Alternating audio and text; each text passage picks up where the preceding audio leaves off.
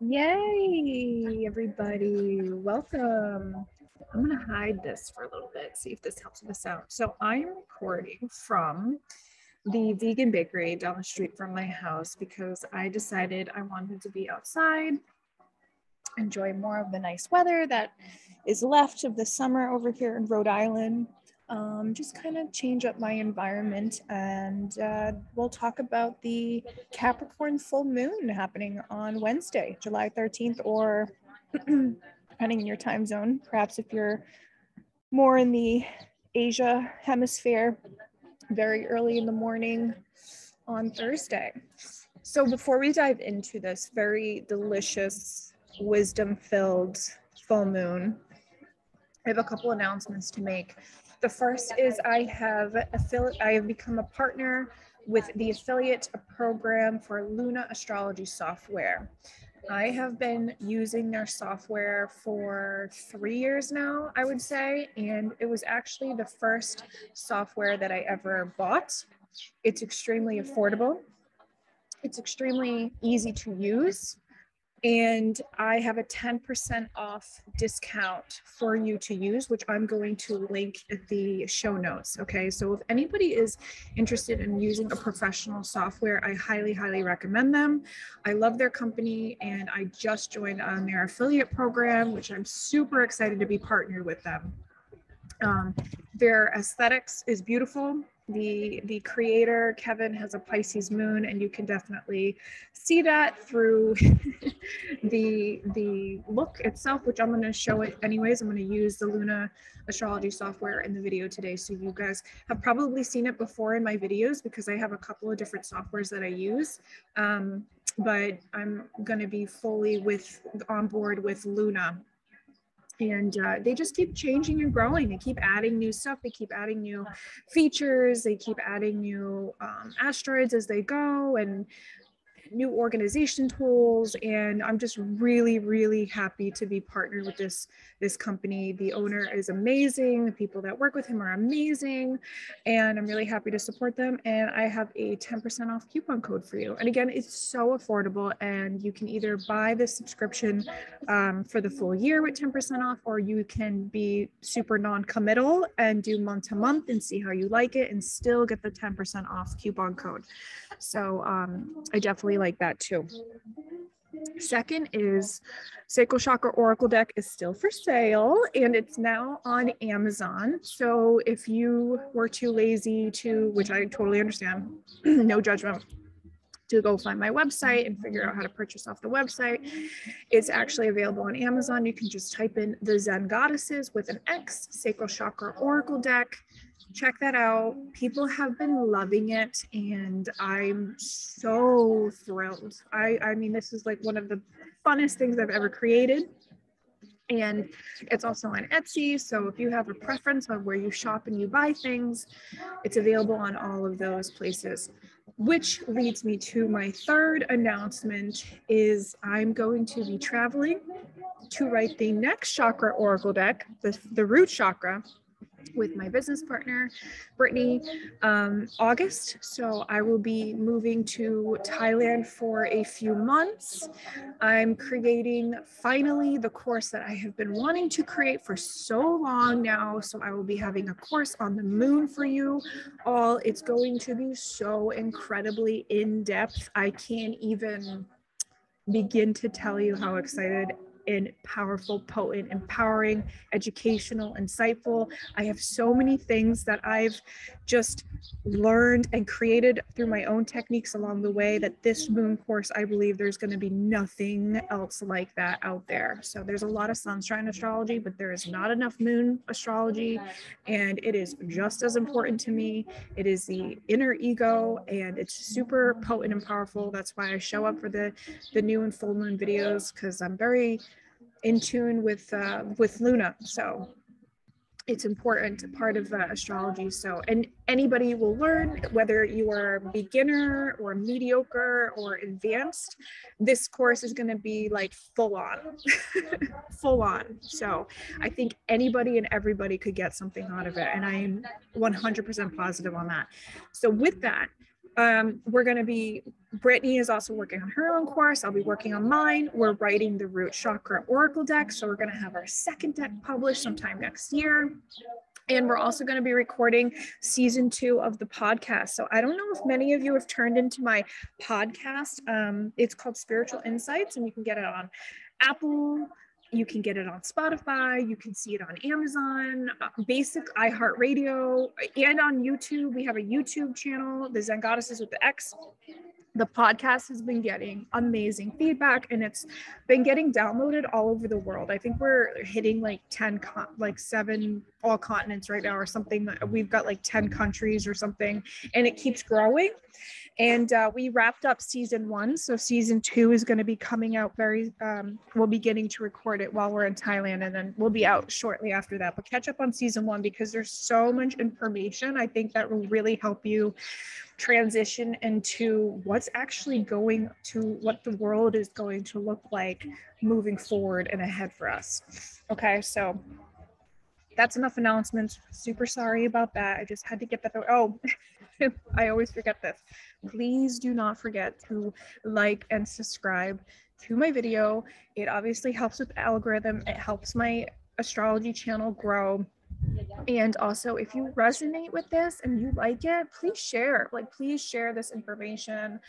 Um, you know, you never know, it might help somebody else. The message that I have um, might somebody else might really need it and if you're resonating with it who knows somebody in your close sphere might feel the same. So please just uh, give me a like and subscribe and it's really an energy exchange between us. I'm putting my energy out there for you to you know empower everybody through astrology and through the lunar cycles. Um, so i would appreciate it um, okay, so with that, I'm going to share the screen and we're going to talk about the uh, the full moon in Capricorn, which is you know, I think it's going to be a difficult full, full moon for some people because the the moon will be conjunct Pluto, and um, you know that that can bring up some deep emotional stuff that we haven't wanted to look at for a while. Um, you know, the Capricorn Cancer axis, because the sun is in, in Cancer, right? Is is emotional. It's it's our inner emotional reality and it's our outer emotional reality. And it's very connected to our home and our foundation. Um, it's connected to what we experienced growing up. And it's also deeply connected to our relationship with our parents or who took care of us um, when we were growing up and how we reflect those patterns within ourselves and you know as children we are looking to the the adult in our life whoever that is whoever that is showing up as to protect us and to nurture us and to care for us and provide for us. And oftentimes we will uh, unconsciously repeat those dynamics even if we feel like we want to be different for instance from from our parents or, or from what we experience as a child there oftentimes is is deeper layers uh, that are patterns that show up in our life that we end up projecting out into our relationships. And then that causes turmoil and discomfort and arguments in our life and you know tension right? It's, it's signified by the square in the chart between the the cancer capricorn. They both make a square to libra okay? And so that, uh, th- those two archetypes also make a square to aries right? So it's a really this this full moon is about dealing with that cardinal um, cross deeply okay? And really seeing where dynamics from that were imprinted on you from childhood or growing up or younger experiences okay experiences or things you were told, um, reflections that uh, were given back to you on, you know, how money works, for instance, or how to feed yourself, or how to, uh, what the home environment looks like, or how work should be, right? Or was your parents or, or the people who cared for you, were they hustling? Were they struggling all the time? Did money fluctuate in the house? And now you fluctuate with money in your reality now as an adult you know and you don't even notice that maybe those links can be attached because they can right? So it's very much looking with this full moon at the the inner child and how that still is resonating with you. Um, in certain ways and being really really honest and real with yourself because pluto wants you to be honest and truthful okay? Pluto's not messing around. Pluto wants you to transform. It wants you to transform from an alchemical level okay? It's not always physical okay? The biggest transformations that we can do is on an emotional scale. And a lot of people don't realize that capricorn is an extremely emotional sign you know yes, it's Earth, but it's opposite Cancer. It's opposite the, you know, in quotes, crybaby archetype. Um, but because it's it's taken the emotions from the water signs and it's now crystallized that into like an almost tangible boundary in our energetic field okay and under this full moon it's an opportunity for us to really trans form patterns that maybe need to just die away or be broken. Okay. And another thing is, um, you know, Capricorn to me represents grandmother and grandfather ancient wisdom right? Because it's it's the elder it's it's time and it's maturity and it's hard work and it's hard lessons that it's gone through you know uh, like when we think about the saturn return right? It takes us 30 years to go back to saturn in its place and 30 years of time and experiences and lessons and hard work and hardship and but there's wisdom in that too right? There's so much valuable lessons within that space and we're we're not the same after those 30 years okay? So and it's time to change because life is about cycles which is why this moon this lunar cycle is so important for us to look at. And every lunar cycle is really important for us to look at every month because we are shifting. We're shifting on very minimal slow levels but then very big great levels too. And that's what i'm really seeing right now in this full moon um, with with the capricorn uh, pluto conjunction here okay? And also Venus. So I'm, I'm bringing Venus in because, you know, Venus is playing a big part in this to me um, because it's it's in conjunct. Uh, you, are not seeing Venus in this full moon, okay? Uh, Venus is in Gemini right now, and Gemini, Venus, Venus is about our, our relationships to ourself um, and to others, okay? But while Venus is in Gemini, it's taking on that mythology of, um, you know, I'm going to share the chart. I'm going to keep talking. I'm going to share the chart.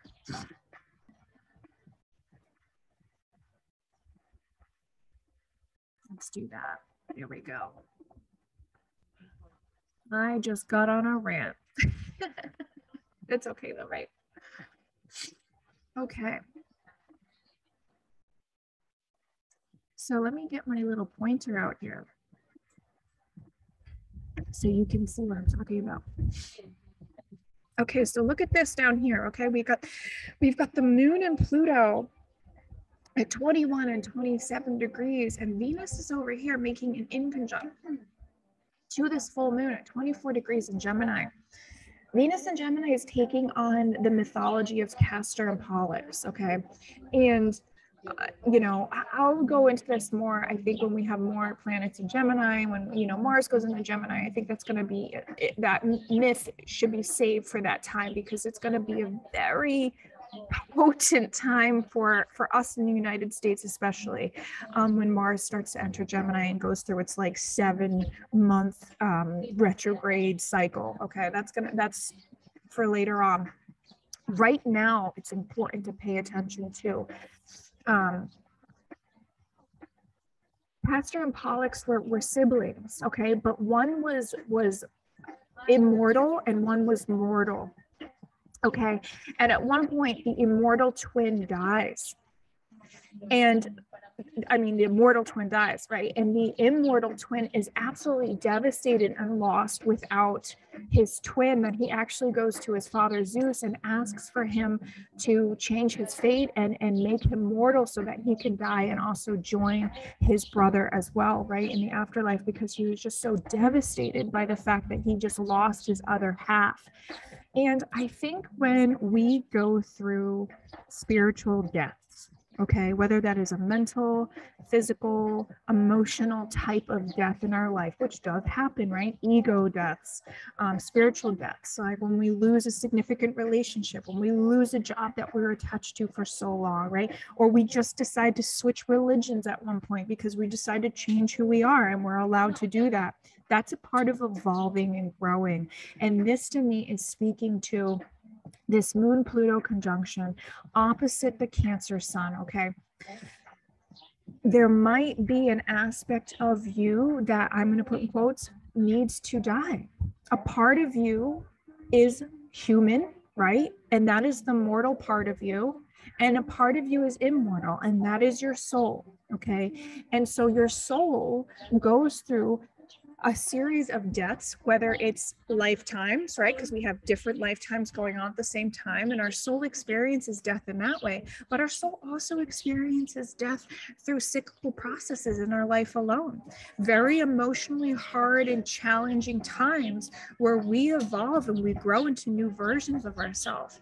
And so you might not see because it's in conjunction, unless because I'm telling you now with the astrology and the, the astrology gives us awareness there might be a part of yourself that you feel is changing and it's hard for you to let go because you feel like you're losing a part of you you your twin right? Your internal twin if you have right have one right? So we can pretend like we have one. There's a piece of you a part of you that is that's changing right now and Pluto's asking you to do that. Pluto's asking you to, you know, dig something up that maybe is weighing you down, that is not allowing you to expand your boundaries and grow. Okay. And this is really significant to me too, because all the while we have, um, you know, we have we have a lot of aspects going on. Is the other row. Okay, at the same time, this um, this full moon is squaring Eris. So you can see 21 degrees Cancer over here. And we've got Eris at 25 degrees of Aries. We've got the square over here coming in from the Capricorn to 25 degrees of Aries. You know, so somebody else could trigger this as well, or something else could trigger you during this this full moon. You know, especially if you're not. Um, consciously working with the emotions. So I just want to let people know about that. Like, don't let something trigger you into um, emotional chaos okay you have control over your emotions and you know the moon in earth is a little bit more grounded than if this was a you know a pisces or cancer or scorpio full moon right it is a bit more grounded, but don't forget that the sun here and Mercury here is also in a water sign. Okay. So, uh, and Neptune is, you know, retrograde still in Pisces, right? So we still have a lot of uh, water energy, which is actually making a grand trine in the chart. Um, so, just don't let other people tick you off basically. Like look serve as a reflection of yourself okay? And that might be that might help you investigate what kind of um, boundary breaking needs to happen under this full moon okay? It might actually help you illuminate it okay? So triggering is is not always bad. It can be really good you know? And another thing too is is eris is also uh, she is also sextile Venus. Okay. So again, it's like that that value that value of of what you're holding on to is directly connected to eris so yeah if like something is triggering you i definitely think that it might be revealing to you you know what part of yourself or dynamic is really hard to let go of and the best solution is to ask yourself why is it hard to let go or why do i uh, hold on to this trait about myself or why don't i am i not able to follow through with this boundary for instance because it's very much about boundaries too or what kind of power dynamics um, are triggering me in my life, for instance, because Pluto also has to do with power. And in some form, too, Capricorn can do with can deal with power. You know why are these things making me feel this way? Okay because there's a lot of emotion that i think can show up during this full moon right? So it's just things to be aware of. Um you know, Eris is also squaring Saturn, which is retrograde. So Eris is really, um, you know, an asteroid in here. I love the goddess Eris. Um, you know, obviously she's the goddess of discord and she causes trouble wherever she is. But I also have Eris conjunct my sun in my natal chart. So I'm not walking around causing trouble. you know, I easily notice that I'll say something that can trigger people, but it's also for change. And I also I have Eris and Aries because I'm an Aries sun. So while Eris is in Aries, like it's it's pushing you to change. It's and it's instinctual. Okay, it can be very instinctual in nature, and we still have Saturn retrograde in Aquarius, squaring the nodes right? This is a very important aspect that is long going, right? It's not going anywhere. It's going to be here for until the rest of the year. Um, you know, it's asking you to look at those crystallized emotions, right? Because Saturn is ruled by Capricorn. So here's we got a, a, repeating theme here going on, right? And ask you why have you been taught this way right? Because saturn saturn wants you right now in aquarius wants you to liberate and it wants you to break free from the pattern. That's what aquarius is about. It's about recalibrating like fracturing something within the pattern like doing something different taking something to a new height right? Revolution um innovation you know type of dynamic. So it's like you're able to innovate your emotional body and your emotional boundaries under this full moon in a new way if you're really digging in and looking for it okay? And saturn square the nodes and like my other videos like just a really easy touch on this because i'm not going to go fully into it because I, I have been in all my videos but saturn square the nodes the resolution point right now is that south node scorpio right? South node scorpio we got to let go of an attachment that we have so let go of, of attached belief of um, uh, a character dynamic that was reflected to you growing up that you have now incorporated within your own life. Maybe it's time to let go of that and and take things into your own hands and do things in your own way and create your own pattern of doing that and innovate yourself in a new way you know uh, break those boundaries a little bit create new ones if you don't have any boundaries right? But that south node in scorpio is asking you to really dig in emotionally and deeply and let go. And then you can travel to that north node and you can create you can create those north node taurus you can create those values you know in a very stable and stern way that is built on you. Nobody else but you.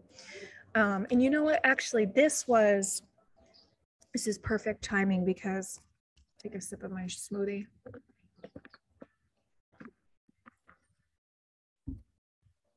I was actually, well, last night I was watching InfoWars, Infowars.com. I don't know if any of you people um, watch that, but they were talking about the um, organ harvesting going on in China. And I don't know if many of you know about this, but this is not new information to me because I actually used to live in China.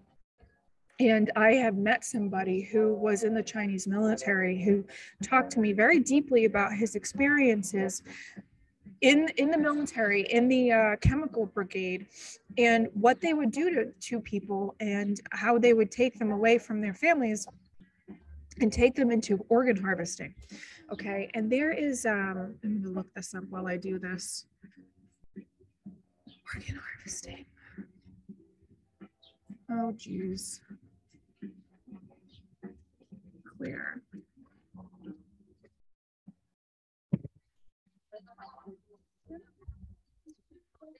Hold on.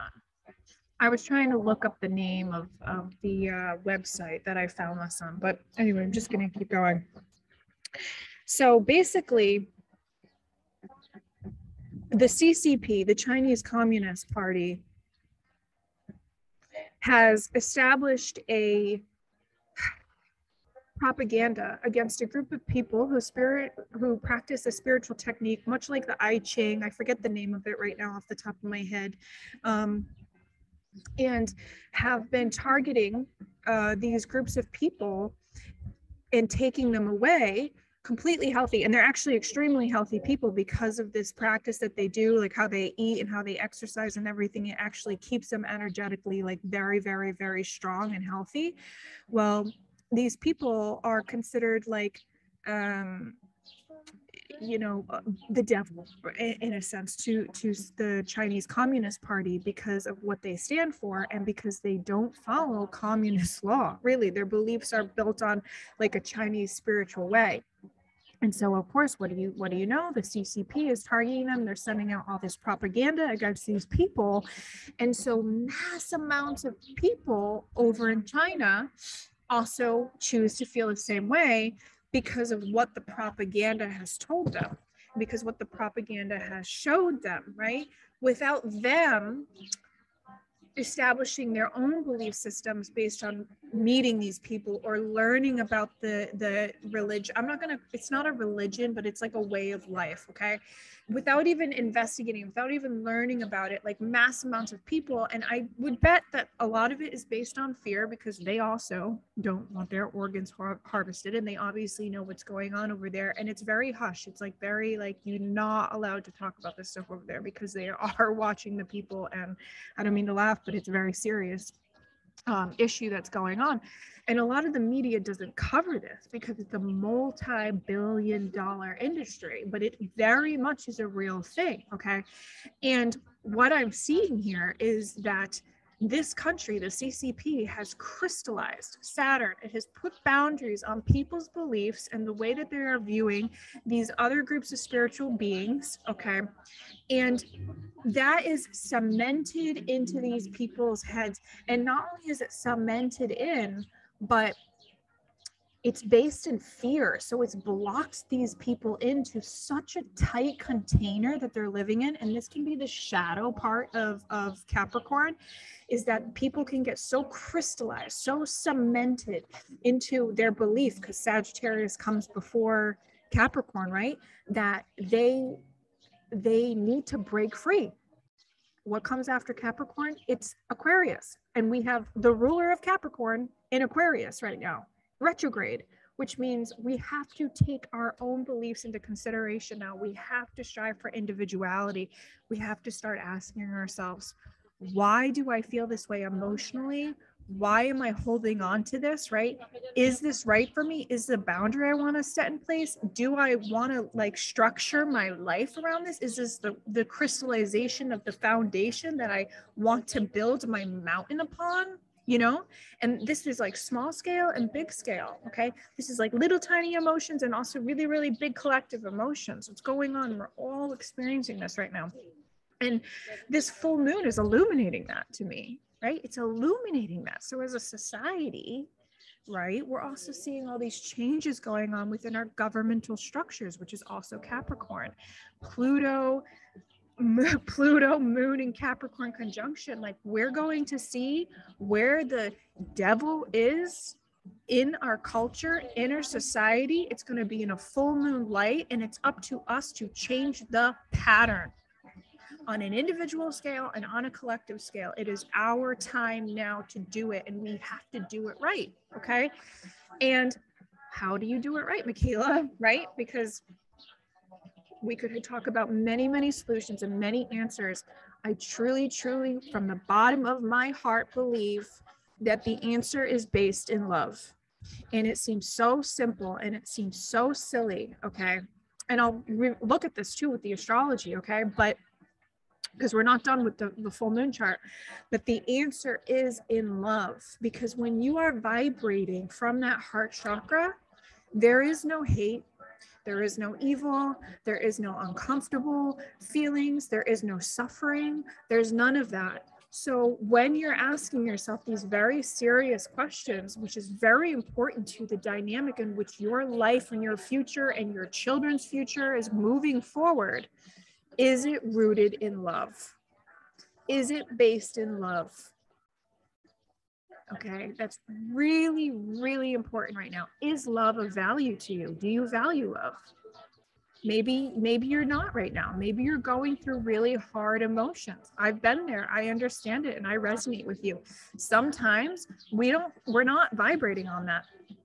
And if you're not vibrating on that love foundation right now, this is an opportunity. This is a full moon to ask those questions why and to really, really dig in deep and discover that plutonian work. Discover where that that anger that pain because of under every negative emotion is just pain. So get to the root cause of that pain and ask yourself why. And i i really think that this is a major major thing because persephone the goddess the goddess Persephone, who was taken from her mother and became the queen of hell and spent six months in hell and six months above on earth with her mother Demeter, is conjunct the sun. She is with her mother right now. She is bringing the hell into the light. She is nurturing everybody. She is um, her mom is happy because she's above ground right now in the springtime. I mean, in the northern hemisphere, right? That's what we're experiencing.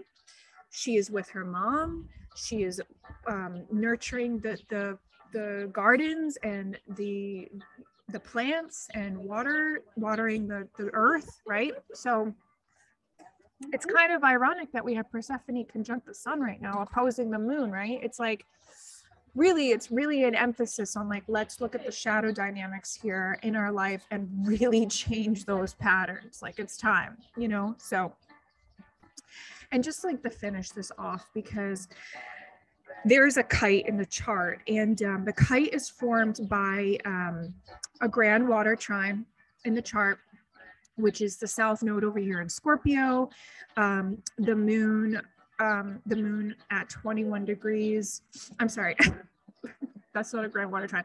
It is the south node in Scorpio at 20 degrees. It is Neptune retrograde at 25 degrees. It is the sun at 21 degrees. Okay, that's the grand water trine. And the kite shoots off into the Uranus north node conjunction in Taurus because those two make a sextile, okay, to the uh, the sun and the Neptune. And the kite is like a magical astrological configuration in the chart that shoots off the energy into the north node, which again is about creating our own value systems in individuality. North node in Taurus conjunct Uranus. Uranus is ruled by Aquarius. This is about breaking patterns, stepping into new patterns of individuality, of values, of strength, of love, of compassion, of the senses, right? Tapping into the earth, reminding ourselves how beautiful the earth is. We don't we don't grow crops without love, without watering and planting the earth, without feeding it freaking plant food, right? All those dynamics. Things die in the winter, but in the spring in Taurus, they grow. And right now, the universe is asking us to grow and to nurture and to plant things that are going to last us for the long haul, that are going to be self sustainable, that are going to be stable, sturdy, grounded, sensual, you know, the things that we need for survival. These, these dynamics are so important. We have a grand water trine literally flooding into that kite, into that North Node Uranus conjunction, which will be exact um, in about a week after that. Okay, so I really suspect after you know when we experience it actually this week until until that conjunction, I really think that people could get really great new opportunities and new breakthroughs coming through.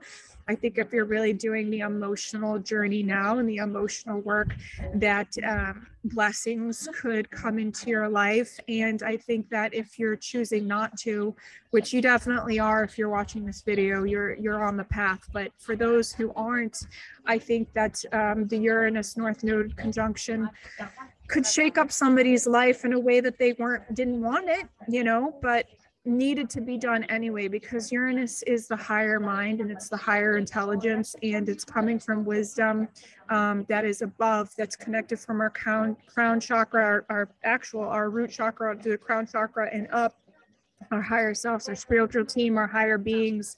That's where the Uranus information is stored, our prior lives, the future, the past, the present. Um, so you can take how take what you want from that, right? That North Node conjunction right there just amplifies that higher self and that higher mind. So, again, if we're consciously working with it and we're manifesting and we're focusing our energy on where we want to go, where we want to be, that con- conjunction is going to freaking be badass in your life um, and if you're blind to it, it's gonna be badass still, but maybe not in the way that you like really wanted because you weren't focused on the energy and you weren't putting the energy where you wanted it to be. Okay. Cosmic consciousness. That's basically that, you know? So anyway, I hope this wasn't too long of a video. I know that uh, they shouldn't be that long, but everybody who stayed with me, thank you so much. Um, and please just give me a like and subscribe on the channel. Feel free to leave me a comment um, about where this full moon is showing up for you or what you're going through, what you're feeling. I really want to connect with my audience. If you haven't followed me on Instagram, please follow me at the Scenic Route Astrology on Instagram. Um, I'm also on TikTok. Um, I'm not really on Twitter anymore. I, I do have a Twitter once in a while. I post things. Um, but mainly uh, I'm going to be focusing on YouTube and Instagram and readings. I am available for readings and spiritual coaching as well. If I do, I do both, and I do um, sexual trauma healing. I do energy work now. I do channeling. I do mediumship. Um, I got a full um, menu, if you will, available now. So and I will be able to take readings while I'm in Thailand as well. So, wherever you are in the world, I hope that you guys have a great full moon and um, take care. Okay. I will be back again soon. Thanks.